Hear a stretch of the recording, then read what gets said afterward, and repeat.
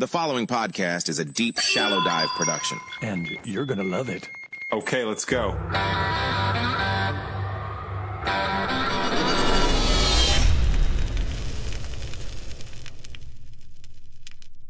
You know, I mean, we both we both have the glasses on, but you're gonna have to send me one of those hats. I'm, I'm gonna need a need to wear one of those hats next time. All right, listen, everybody. Hey, another another great episode today that I've been really excited to to bring this guy on and obviously with everything that took place this weekend with President Trump, we kind of moved this up on the calendar in order to do it sooner versus later. But you know, get get used to this face because this is David Nordell, and he is a retired United States Air Force Command Chief Master Sergeant with over 30 years of service. He's all the, he's also the CEO of MaxFab Consulting, where he focuses on veteran transition and leadership development, which, by the way, I think is incredibly cool. And he is going to shed light on, man, a lot, a lot of different things and a lot of things that we've talked on the podcast before military industrial complex, the uniparty, sure. all this stuff. But David, hey man, I appreciate you making making the time. Thanks for joining. Yeah, what's going on, brother? I mean, not much. Really? I mean, you and I had a really deep conversation that could ended up like ruining a whole half a day, and I don't think we, I don't think we ever got to the to the finish line. And we knew we were going to do this, you know, for everybody else's, you know, ability to digest it. But now, you know, I think where we're going today, Ray, is we're going to just have some candid conversations. And, you know, there's, I, I know that the majority of the people that probably listen to this, it might be a little bit of group think. I hope there's some people out there that, that tune in to get some, some alternative, uh, alternative viewpoints. But, um, you know, boy, when you and I were talking, we were talking not just about passion and, and love of our country, but we were talking from a level of expertise. And I'm just ready to do that. Uh, you know, I don't Good. like the, I don't, I, I don't, I don't I don't like to talk about quilting because you know what? I don't know anything about it. There you go. There you go. But I'll tell you what you knew what you do know about is the military and you've also got experience in terms of secret service. So let's start sure. there, oh, man. Yeah. Let's yeah, start there. President Trump assassination so, attempt. What's so, your take, man? Dude, scary moment for me. Know, I'm, I'm a I'm, a, I'm the proud owner of PTSD and moral injury, and we'll probably hedge a little bit on, on how I got there and, and what that's about. The hat has a little bit to, to, to go with that. But so, um, let me tell you, I was watching live. I was down in Arizona, um, and I'm watching live, and I probably didn't have the normal reaction most people do because I know I knew what was happening from the very first noise that came through television. And I and, and I think the way you're going to find out is the first round missed him, the second round hit him in the air, and if you see him turn his head, he was lucky. So, uh, I think I told you earlier. You know, I was I was attached to the Secret Service in Tokyo for three days. I was stationed there. They, they I was attached as the medical response team for President Bush, the second Bush, Bush two, and um, uh, and they integrate you into the team. I mean, you're in the convoy. I mean, you're doing their work. You know what the first thing they did, Ray, was? What? They dropped off, they gave me a call sign. They gave us, I should say. They gave us a call sign and they established comms. So let me give you, for instance, the ambulance is usually the last, if not second to the last vehicle in the convoy. And there's a reason. If I'm driving down the road and I see some guy with a rifle and I'm the guy that sees him, I click the button. I tell them who I am. Let's say the call sign's medic. And I say, medic. There's an unidentified individual, looks like he has a firearm at three o'clock, blah, blah, blah. Everybody hears that, Ray. It goes into everybody's earpieces. Right. right. On that trip during that three days, we had somebody that actually got through some exterior security and ran down the hillside towards the convoy that the president was in and the Secret Service lost their minds. You know, and they were really hard on themselves, self evaluation and those kind of things. To me, it seemed innocuous because the guy was never in a position where he could ever hurt the president, especially when they're in those cars, that kind of stuff. And he really didn't have a lot of capability. He was just a goofy guy getting into his face and then more. Somebody asked me today what I thought about the fact that a guy had that close to take a shot at a former president or a president or anybody that's under protection based on who they are. Here's what I liken it to. I liken it to somebody that's played in the NFL for 25 years. They got 25 year career. Tom Brady, let's say Tom Brady. And the game starts, and Tom Brady runs out onto the field and he doesn't have a helmet. And during the first play of the game, somebody hits Tom Brady, and there's blood everywhere. His nose is bleeding and everything because he doesn't have a helmet on. And somebody goes, One, why didn't Tom Brady know he needed a helmet after 25 years? And two, who let him go out on the field and run a play with no helmet on? That's how egregious this is in my in my viewpoint. That close.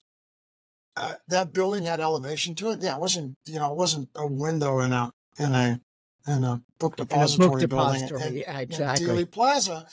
But you know, if you go back and you dissect the whole Dealey Plaza thing, there was a lot of people there doing a lot of work, and everybody was, you know, a, I shouldn't say a dang, everybody was two seconds late and two seconds short. So the whole thing to me is absolutely weird. Um, and you know, on a larger scale, we're we're operating in such divide right now and such mistrust. I mean, we're going to put together committees um, to study this. and I just don't know how deep they're going to dig. Yeah. You know, Yeah. it, it, it's so easy anymore to say, well, I had a bad day. In fact, we've heard that already, right? I just had a bad day or a bad night or whatever it was. Uh, in some professions, you know, I grew up in medicine. I'm a shock trauma nurse. You know, when the, when the lady, when the lady at the bank goes, Oh, I, I'm sorry, you know, the, the computer's down and we've had a bad day, so I can't get you your money. I say, you know, I'm not allowed to get that. You use that excuse. If my computer's down and you're having a heart attack, I got to figure it out. The Secret Service is better than that. Everybody that I've ever dealt with in the Secret Service, and even here locally, when we've had the president come during campaign times, they are meticulous. They, they, Meticulous. They are. They, they, I mean, you would think they have to be. And the things that the things that really jumped out at me when I saw that happening on Saturday was, you know, first of all, the, the layout when you see the aerial, there there's not like like like you said, this isn't a book depository, 20 different angles, 20 different rooms. There's literally that's the only building that was near the stage. So how on earth and by the way the guy you know i, I don't even want to mention his name to give a i don't even matthew something but like Right. it's not like this guy also seemed like a a disgruntled military veteran who had crazy skills and knew exactly what he was doing. You know he looked like he was dressed to go to a jimmy buffett concert or something like that. So how does he with the ladder and with everything get up onto a building that seemed in unbelievably plain sight? And then you see all these videos. Tmz had a had a video. You know people are citizens are alerting the various law enforcement hey there's a guy up there with a gun the question becomes and and i had this conversation with with somebody else who told me there were either four or five different groups of law enforcement in charge of the president's security you've got secret Right. service Right. You've got the local law enforcement.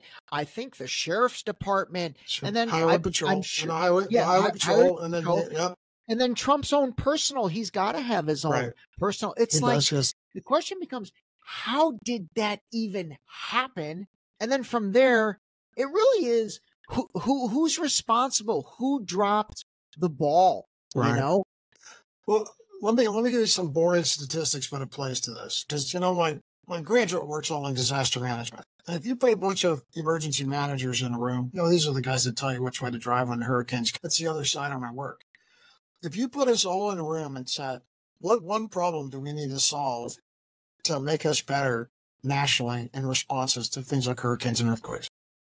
There wouldn't be a single person in the room that wouldn't say interoperable communications. Your radio has to be able to talk to my radio. Mm-hmm. If you have UHF and I have VHF, the only way for us to talk is for us to give you another radio, and then you carry around two radios, or three radios, or four radios. If people are screaming and yelling at a cop from from uh, uh, Butler, Pennsylvania, that a guy is on the roof, and that cop has no ability to do what I described when we first started the conversation, no ability to, to pick it up and go, "This is Butler One."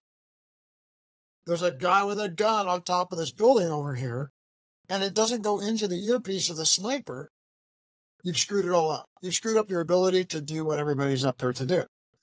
The second thing, Ray, that, that I have to ask is because we suffer in the in the in the AOR and and in the combat zone, we suffered with this even up till the day that we you know kind of toned things down in Iraq and, and came out of Afghanistan. But this rules of engagement thing is always innocuous. And and the people um, that are in levels areas of responsibility, they do not delegate the responsibility for people to make decisions tactically. And if at some point in time that sniper had that guy in his sights and could have taken him out long before he ever even had a chance to shoot, and they had to go some through some bureaucratic rigmarole to have somebody Yeah. that wasn't even in Pennsylvania authorize him to shoot that guy, that's problematic. And is is that is that kind of the protocol? Like, is it is it They're- we're, that ridiculous potentially? we're gonna find out, but they, Yeah. I already hear some background rhetoric on. Well, these guys are these guys have full clearance to take out anybody with a weapon that they think. I disagree with that because in the Department of Defense, our soldiers were getting killed and jammed up, and bad guys were getting away for years and years and years because we did not know how to decentralize the execution of the mitigation of bad guys because the the, the bureaucrats had to have their fingers in it. Mhm. Circa, circa Vietnam, right?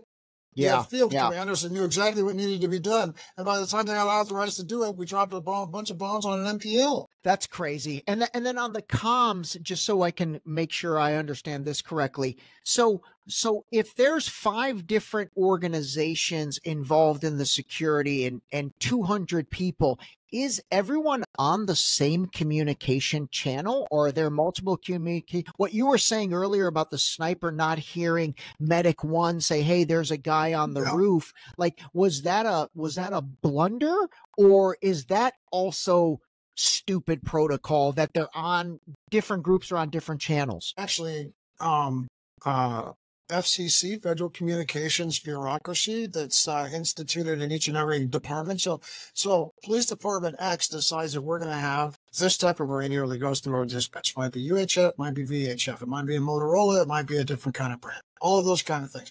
It might be a Generation Three. It might have, it might have um, the amount of crystals put in it where we can switch channels and talk to each other. So I have one radio that talks to a lot of people, but that's expensive. So then there's a budgeting thing that goes along with that.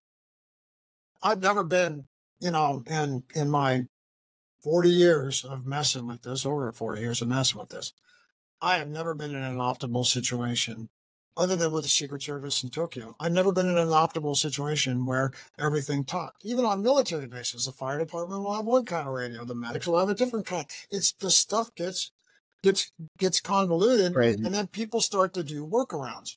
So Yeah. I, I'll bet you, I bet you if we did this down, I bet you that the Pennsylvania Highway Patrol and the Butler PD, their radios can't talk. There's no way that they can talk to each other. That's be, crazy, I was, a, man. if I was a That's great. And, and, and then secret and then Secret Service as well. I can't imagine Secret Service is letting the Pennsylvania Highway Patrol and the Butler PD and the Sheriff's Department and Trump's security in on their their private Secret Service communication. So every institution is subject to leadership. And one or two leadership decisions can change the whole tactics, techniques, and procedures that people take forward into those type Yeah. of situations. You know, if they dissect this the right way and they talk to the right Secret Service agents, you're going to find out that actually that was in the plan, that was recognized. And I'm really speculating here. So, you know, people. yeah, yeah. No, no, this is what I, want. I may, I may, I may end up on CNN or, or Fox News or whatever. Or at the end of the day, throwing out you know Dave Nordell's take on things. I do have some expertise in this, so I'm not just an idiot just talking Yeah. off the top of my head. But I'll bet you, um, uh, in the end of the day, because you have to have a for this to happen, it has to be the Swiss cheese model, right? Everything has to line up where you get a perfect hole through the through the block of cheese. Yeah. I mean, you have to have fail, you have to have failure at every single point in the in the in the in the space.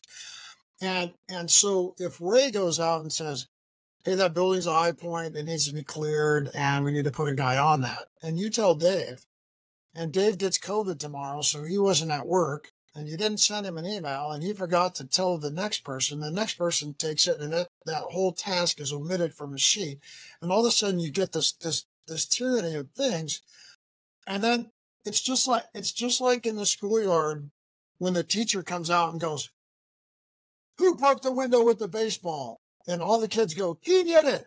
Yeah, yeah, yeah. Or it's like that. Right. It's like that that Spider Man meme where it's like three Spider Mans and they're all pointing, you know, at, at each other. No, I'm Eh, with you, man. I think I think it's a mess. I think the timing was of it was interesting. You know, you've we've got the Republican National Convention this week. Basically, we're recording this uh, on a Monday, and it's it's it's Right. starting to, it's starting tonight. All right, let me let me Right, ask you this final question on these guys. Who do you think Trump's going to pick for his VP? Oh, I love it. Like, I'm glad you asked me this question because I got to watch everybody else try to answer it. I, I've actually kind of keep up on this. He said he's going to announce today. So you're going to have me recorded, Ray. So if I if I There you go. Yeah, have- this is like no You're going to have me recorded. All right. And and and the uh, and the convention's just gabbling in now, so they're just getting they're just getting started. So lots of lots of excitement. So so he's gonna he's gonna pick. Uh, you know, Trump is. Uh, uh, we all tend to gravitate back to our strengths when we make major decisions. You know, we don't go through through the weak the weak pieces of that. And I really think that Trump has a uh, a need for uh, flair. You know, he wants he wants you know he wants lights and bells and whistles to go off when he announces it. So I have two. I have, I'll give you the main my mainstream pick that I think that I think he'll pick, and then I'll give you one to think about. That's all. That'll be my dark horse. All right. Um, I think he's gonna. I think he's gonna take Tim Scott because I think Tim Scott accentuates what he needs in a lot of ways, to include temperament. So hold that thought. Okay. Marco Rubio would be a clo- Marco Rubio would be a close second. Um, Okay. but I kind of like I, I I I like all of the ones that are out there. I'm not a big JD Vance fan, but I find it curious that only moments after he got shot in the ear, that Nikki Haley wasn't not only invited to the convention, but she's speaking now.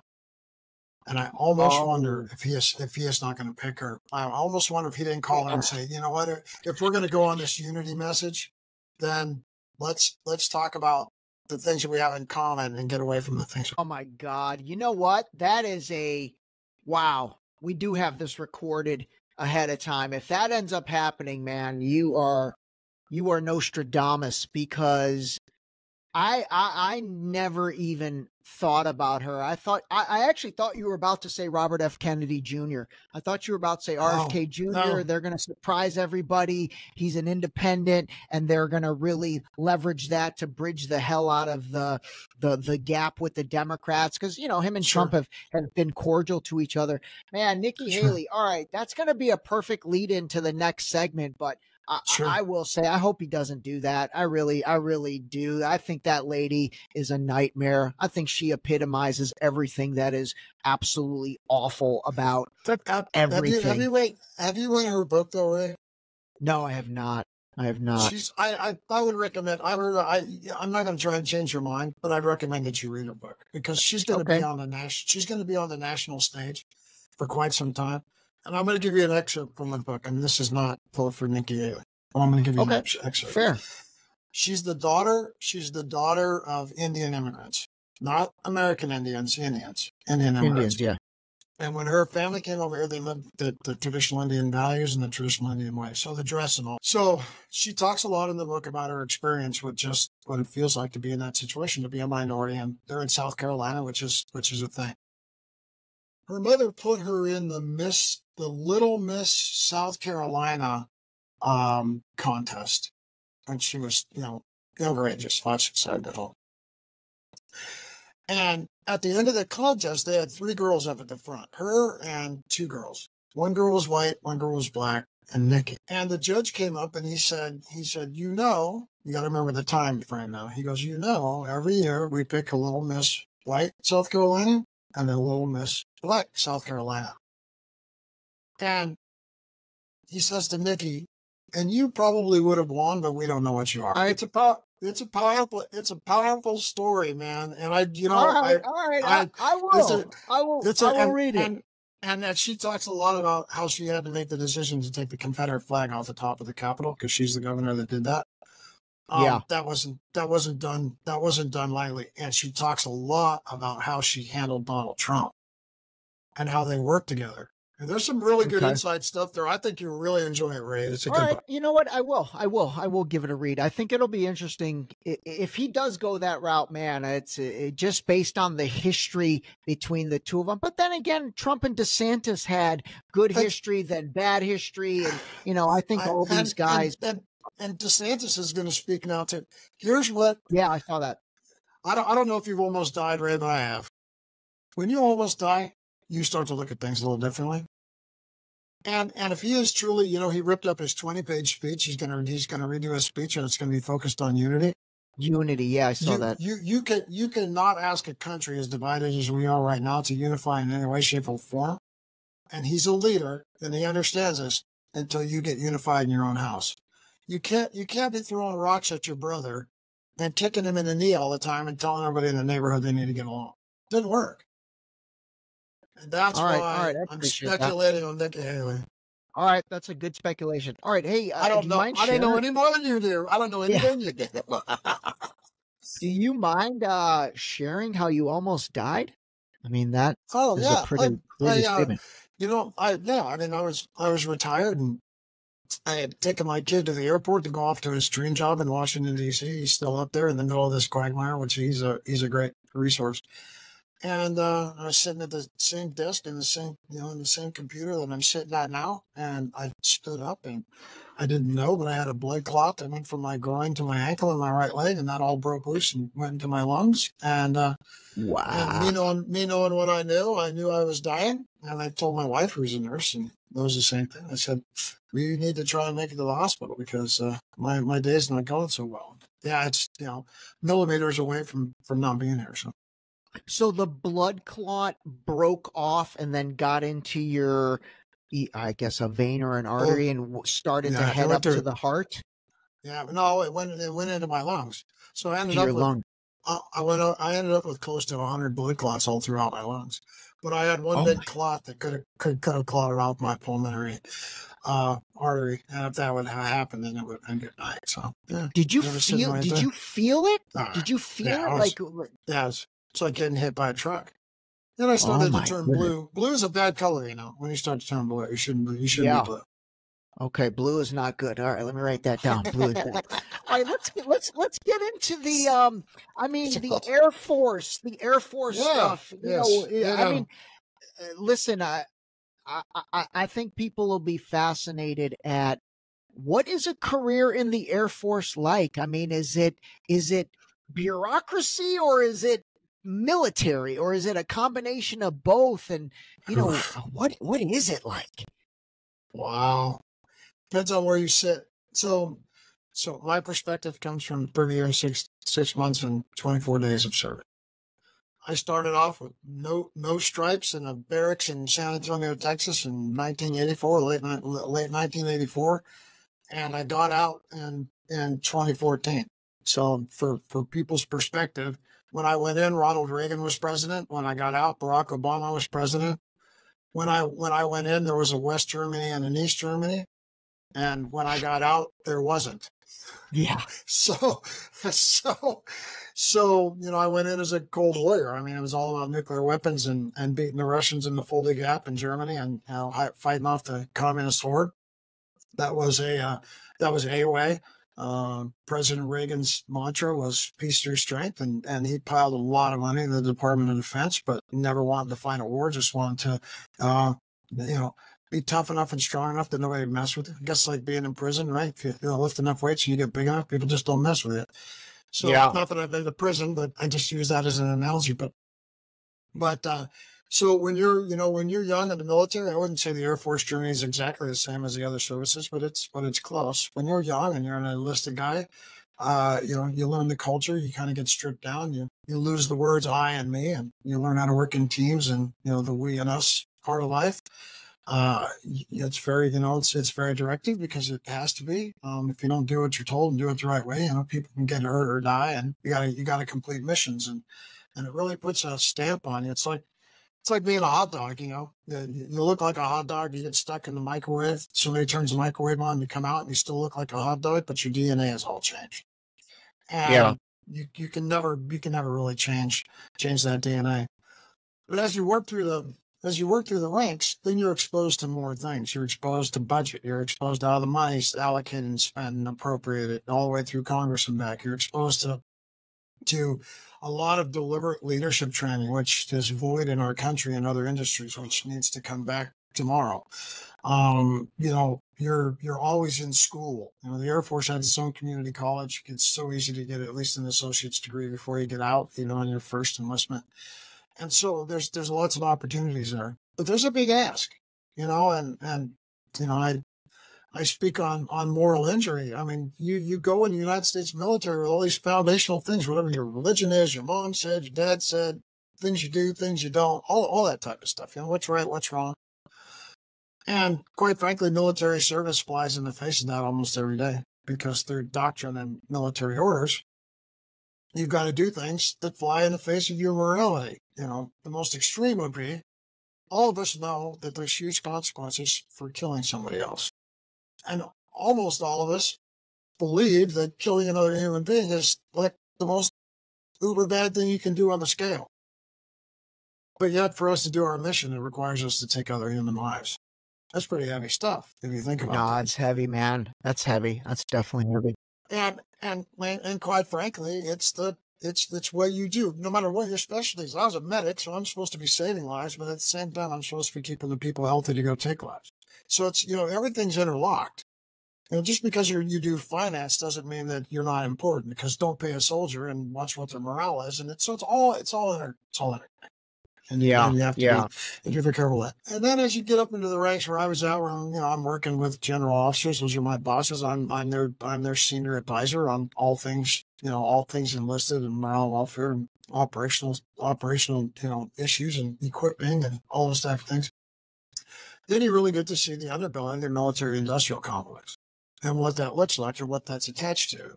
Then you're in rooms and you're making decisions and you go, you know, who's all these guys with ties? Well, that's the guy from Raytheon, and that's the guy from Lockheed, and that's the guy from, you know, Boeing, and you know, they're like, well, why are they here? Well, because you know the weapon systems with, that they use, those people are all the people that that have built them because it's been contracted that way. And how do you let contracts and how how is money appropriated and, and used and spent and you know and and spent and and so yes, you do get to see the forty-seven dollar toilet seat and uh, you know the you know the misappropriation of you know the misallocation of, of stuff where it's fraud, waste, and abuse, and things have to be governed and checked on. And then you see other people that are magicians at it, and they are great stewards of of uh, of the taxpayers' money, and and you see some really really good things come out of that. So it's just a it's it's just a wash back and forth. But Complex. um, yeah, right. And, uh, you know, Eisenhower, you know, on his last day in office, I mean, that was his big warning, right? Don't Yeah. let the country, don't let the, don't let the military industrial complex drive the decisions you make in the country. In some ways, Ray, he may have been even late then again when he said it. Because if you take, let's just take a soldier. Let's take a soldier in the field, right? And they're, they're in combat.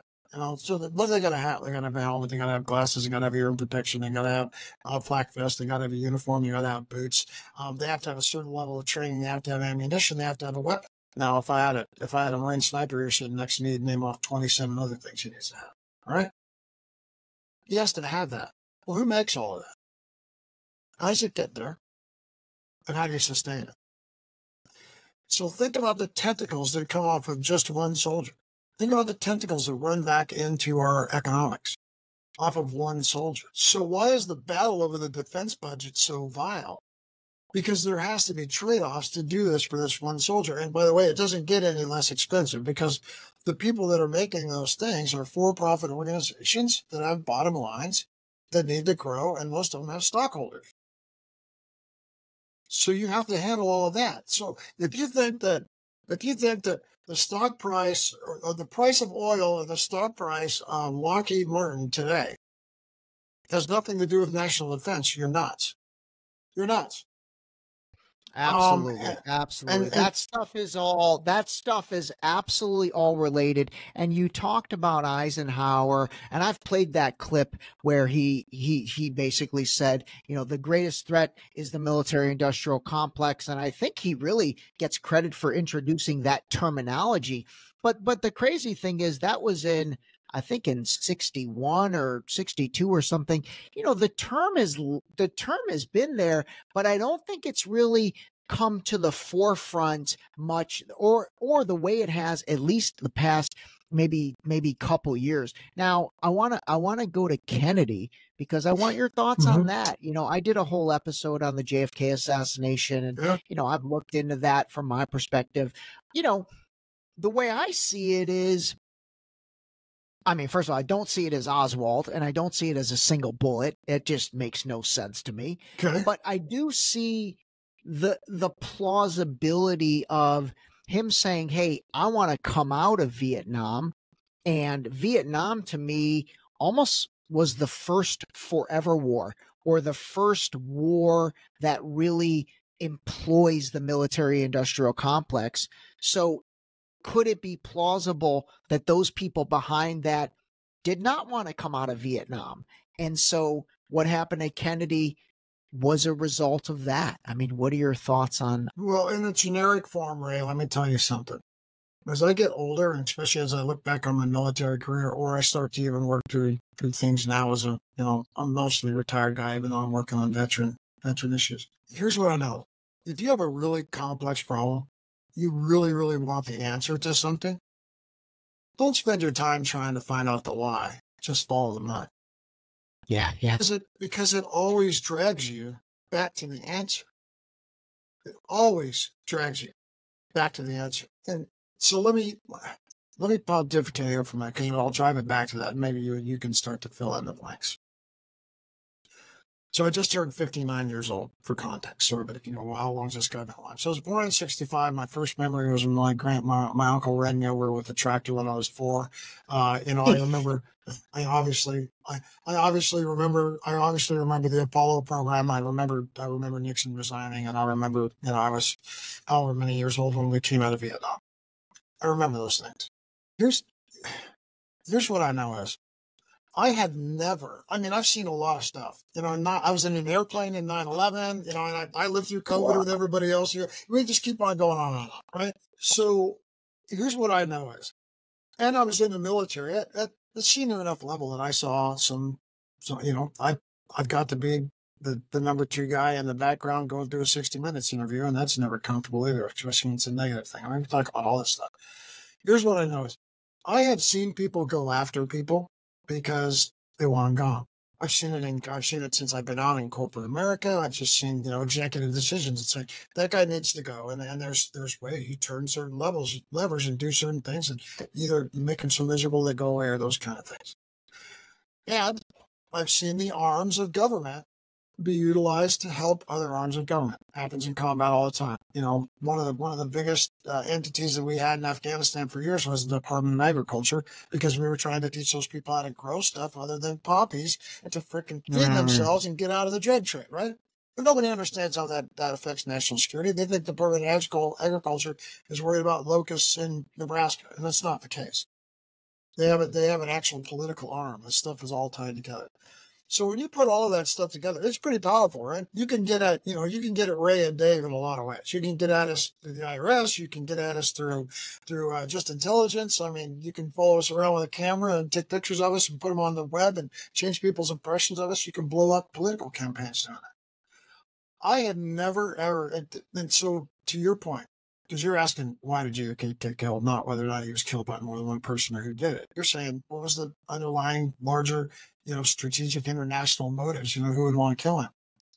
I've never seen anybody gone after in such a way that I have seen go after Trump. Mm. And that's not a ringing endorsement of Trump. I've just never seen everything brought to bear. I mean, if you think Yeah. about it, and he was a former president. I mean, midnight raids authorized down his lawyer's office and blowing up lawyer client, uh, lawyer client privilege. Going down to Mar-a-Lago and going into his house, you know, just just knowing, well, they just blowing things up and taking whatever you want. And what's amazing to me is, if it was there, it would be there. Right, right, It's, right. I mean, I mean, you know, if you if you dig a hole and you keep going, and then you all of a sudden you, you pop out the other end and you're in China, you go, well, I'm here. Well, there's no reason to keep running up and down the hole because you've dug it already. I'm Yeah, not telling yeah. you, brother.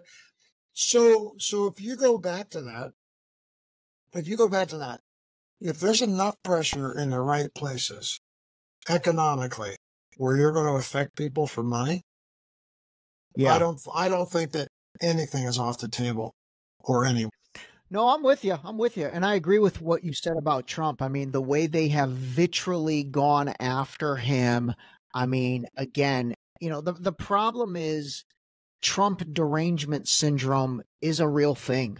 And for those people that that that absolutely despise him. And, and my audience knows, like I've talked to a million, I call a spade a spade. I call a spade a spade on Trump. I call a spade a spade on Biden. I call a spade a spade on Obama, Bernie Sanders, everybody, Nikki Haley, all those guys. Sure. So like the, the, the problem with Trump is he is just, for some reason, this guy has, I mean, honestly, unlike anybody in our lifetime has oh, just caused such strong feelings one way or the other. It's really interesting. Like it doesn't it I haven't figured out like what is it about him that causes I mean the ones that love him love him and the ones that hate him I mean they hate him I make this joke all the time and I'll make it again. It's like he slept with their wife or something. I mean, like, what the hell? What why is Yeah. that that hate so absolutely vitriol? Let, let me let me let's move into I really like the stuff you've talked about in terms of, you know, following the money and all of that. and to Oh, me, man. one of the best examples of that really becomes Afghanistan. I mean, that's a 20 year forever war that we got into under the the guise of weapons of mass destruction. We have to 9/11. get them, you know, Saddam has them, which people didn't realize, okay, that's Iraq. That's a whole different country. That's not Mhm. Osama bin Laden, Afghanistan. But we kind of went after both 20 years of that and then we come out in 2021 and turn afghanistan right back to the taliban. Like to me if there ever was a case of calling bs through following the money that's it because in those 20 years that's a lot of money that exchanged hands with a lot of people in this military industrial complex. Give us your thoughts on that overall. Well, so at the risk of sounding like I'm talking down to people, because I'm sure your audience is well read and well educated. You know, Afghanistan starts after 9 11, right? And once you're in, you kind of get sucked in. And I, Mm. I, I, I caution everybody to not look at war and conflict in a nation based on are the bad guys there, or is that, are they bad people? You know, when we when when when we went into Iraq the first time, that was about bad guys. That was about you guys need to get out of Kuwait, and we're going to shore that out, and then you guys go back to being Iraq, and we're not going to go to Baghdad. We're not going to we're not going to displace you. The reason, and the reason being is is because for us, our nas- internationally, nationally, know, our national security was shored up because we now have a forever ally in Kuwait, and they hold the keys to the, you know, to the to the port that feeds all the oil through the Gulf of Mexico. That's a big deal. In Afghanistan, you know, why did the Russians go into Afghanistan? Because they didn't like the that Afghanis. is that is oil is a big 9/11. deal Why i mean oil in general is a big deal It is. It was about natural resources. Is the, the the stuff that is in those hills in Afghanistan? Some of it you can't find anyplace else in the world, or not in, in that level of abundance. It's about natural resources, but to go in there, you've got to be able to deal with a government that can actually trade and let you mine and do those things. I mean, we do some of this stuff in in uh, you know western and south uh, southwestern Africa. I mean, we have companies in there that are mining natural resources that come back here that you know, and probably in my computer, and then the you know microphone you use. You just- absolutely and, we, and we just take that stuff for granted. You know, as much of a, of a country of milk and honey that the United States is, because we do have we have every climate in our in our nation. We have all piles of natural resources that we can get at. There's still stuff we don't have, and so for us to build the next uh, whatever it is, go to Mars, build a bomb, uh, medical technology to save a life. For us, for us to do those kind of things, we have to have access. For us to have access, you get access in two ways: either through relationship, or you own the property. You know, at some level, you own the property. You know, those type, those type of things. So you have to be really careful when you're going to use the military to go into some place. What the overall mission is, and it has to be clearly articulate. And what ties our generals' hands is, is that you tell a general, I want you to go take down a hill.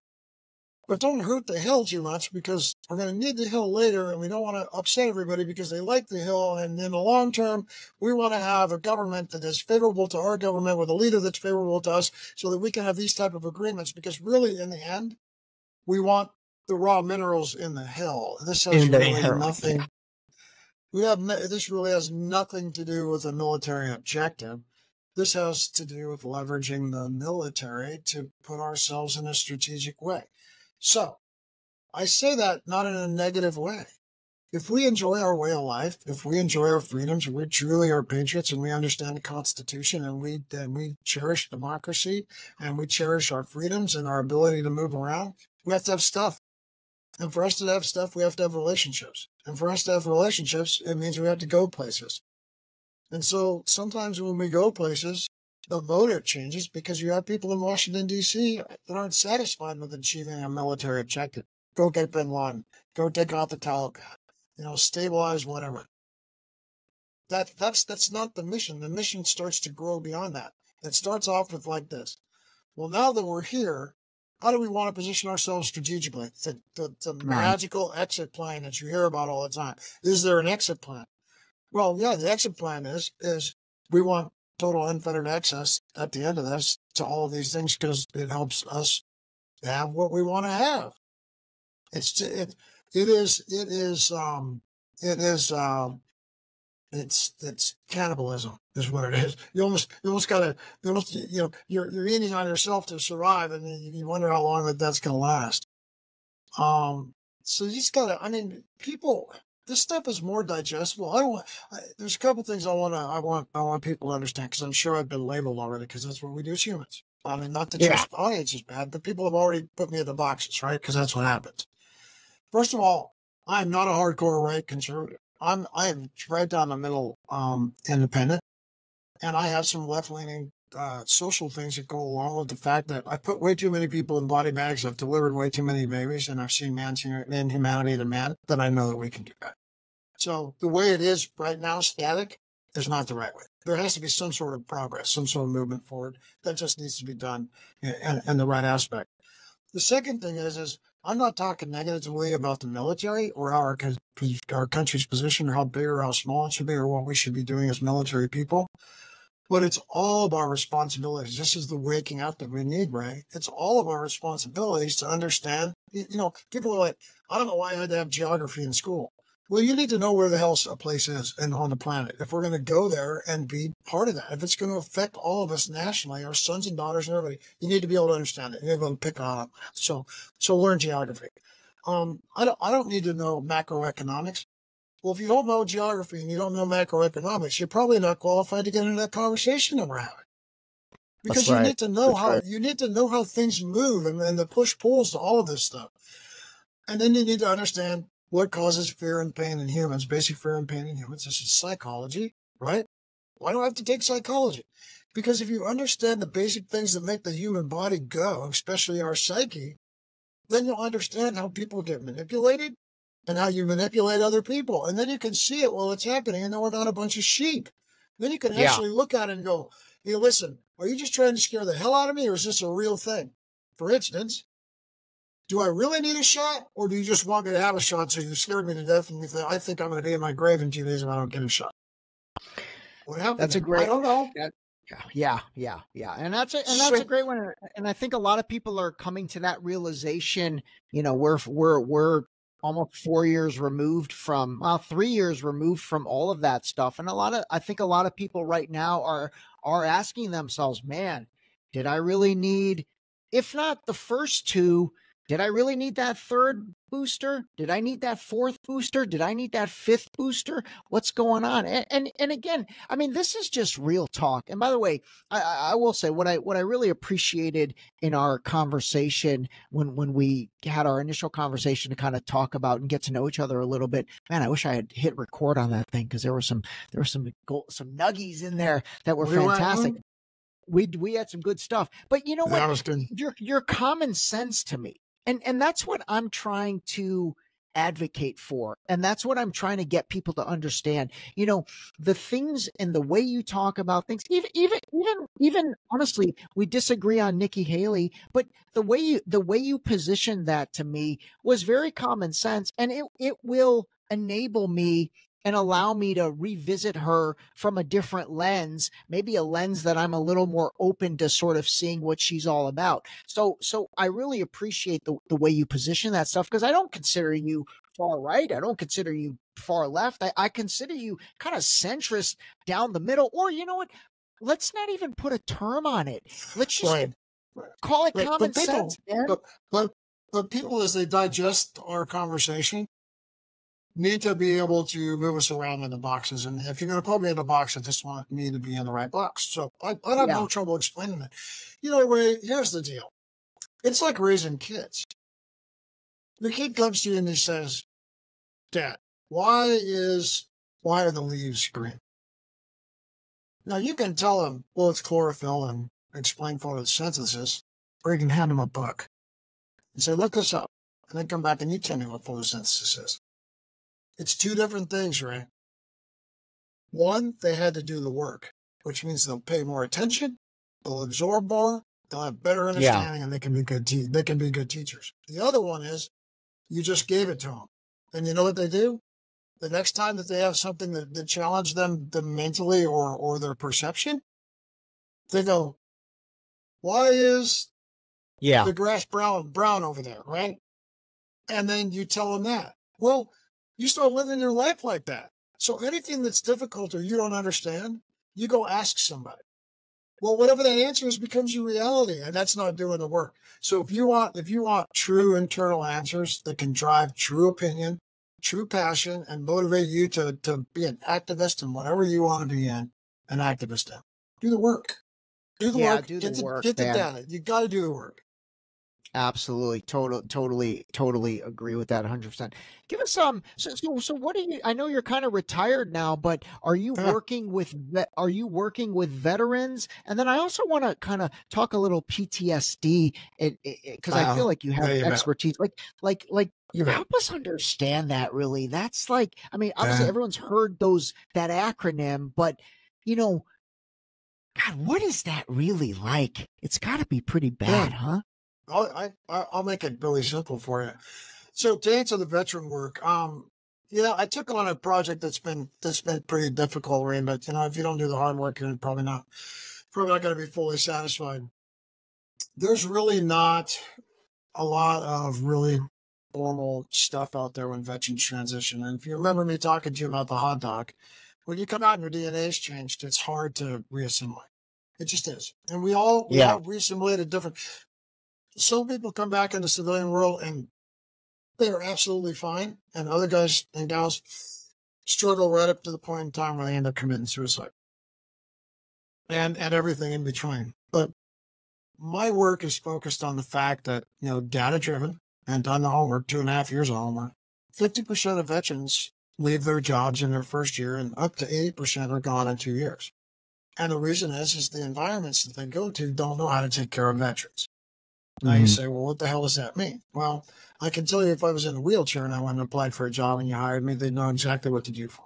Because there's a thing called the American Disabilities Act and you read it and you have to comply with that plus, right? You know, the thing that we probably cherish most in the world is if you have children, they're probably right at the top of the list of the things that are most important. If you're going to take your kid to daycare, you don't take them to, you just don't take them to daycare and drop them off, right?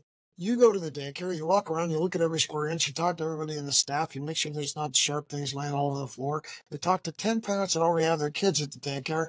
And then you, when you do take your kid to the daycare, you vet them to make sure that they're thriving for three to six months before you even get into any routine. With veterans, we drive you to the curb, we point at the building, and we say, go in there, I hope it works out for you. Because the people in the building don't understand the veteran transition. So I've- I've built a program that's there for any employer that has the motivation to do what, what to do the real steps that need to be done beyond thank you for your service. I appreciate thank you for your service. It's become kind of cliche, and it's uh, you know it's uh, for me my answer is God bless you when people say that. But really, what we need is is we need um, corporate America and large scale, small business, all the way to the biggest of the big. Some of them have programs, Mhm. but they need to be bit ready.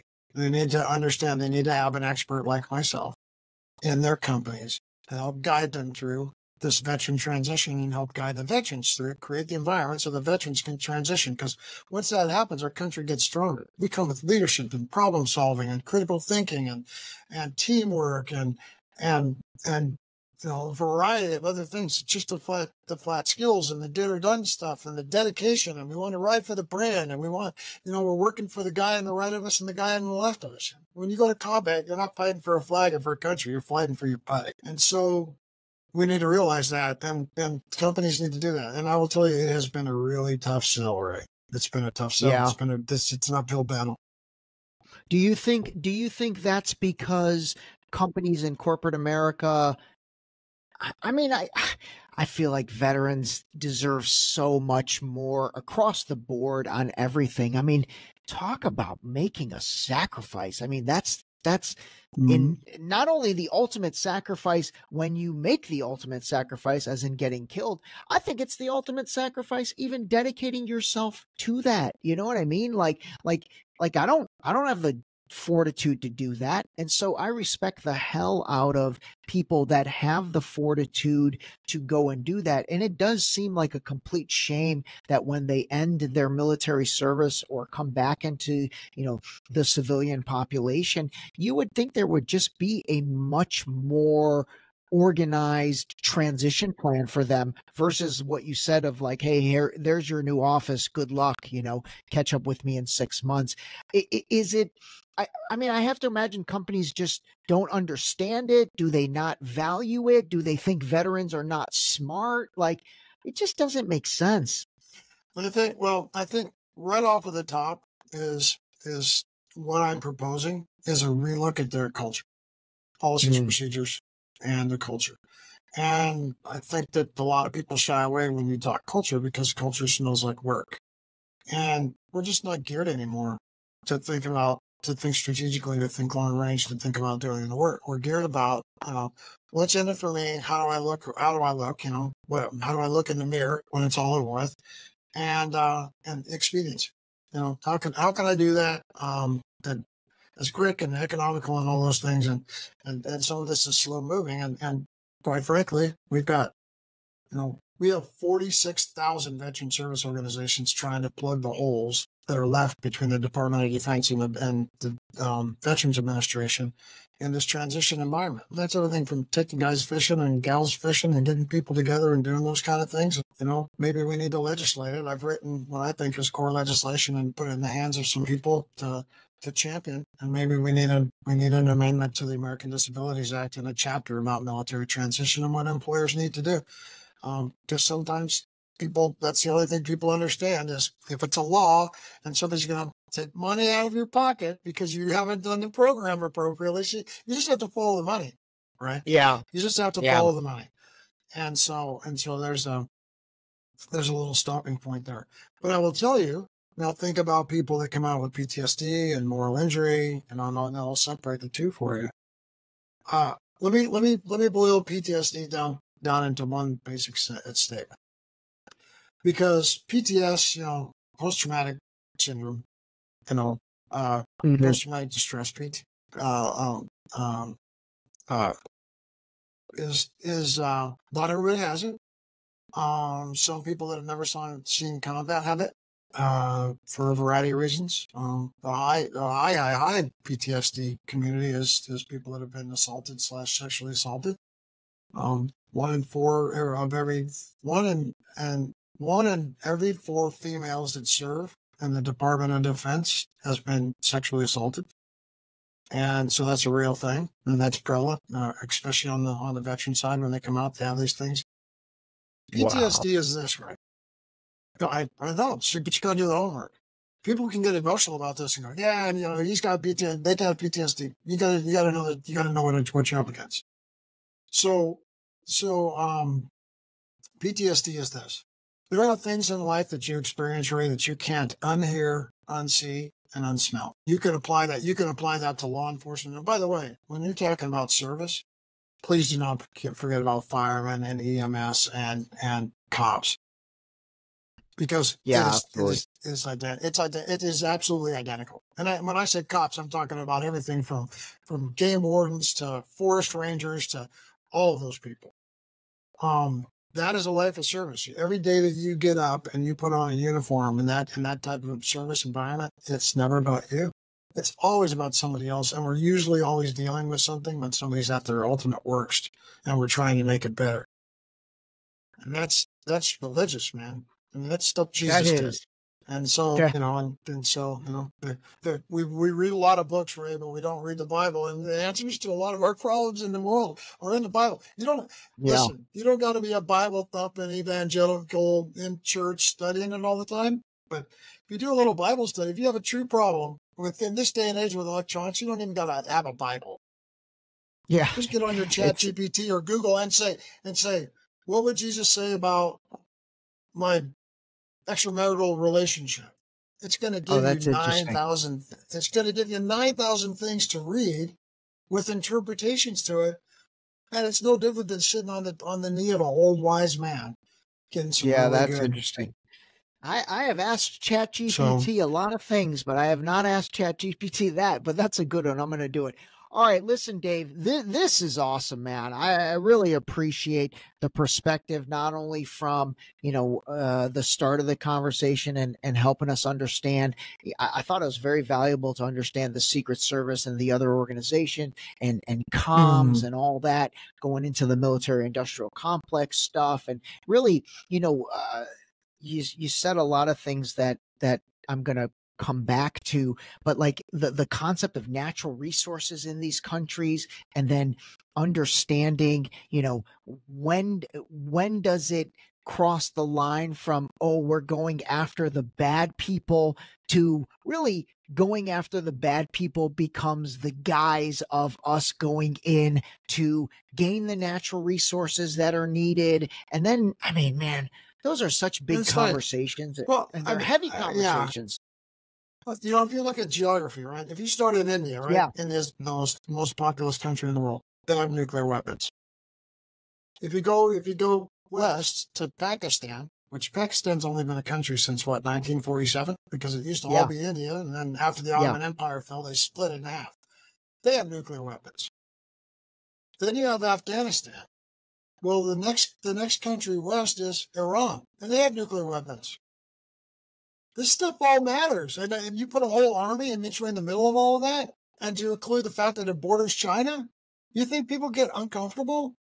You think that No, there's no. not there's something beyond? Ju- yeah, it's but you but if you can't look at a map and you can't explain that, and you can't draw it, and you can't see it in your head, then it's tough to That's, understand. a, that's comes to the an excellent point, dude. That's an excellent point. You talked about India, Pakistan, Iran. If you if you look at a map, those countries all in that Middle Eastern area are all geographically close, but you don't you don't see us going into Pakistan, India, or Iran because they do have nuclear weapons. I think nuclear weapons are even to the to the big bad United States, they're a deterrent. But Afghanistan doesn't have nuclear weapons. You know, Iraq at the time, I don't think had nuclear weapons. Um, No. Oh my gosh! I mean, look at what's going on in Gaza. They don't- don't have nuclear weapons. Obviously, that's So- a that's an interesting thing with the geography. The way you said that, I like that. And and the and the whole North Korean strategy has been for us to survive as an isolated state with with the purest of communism.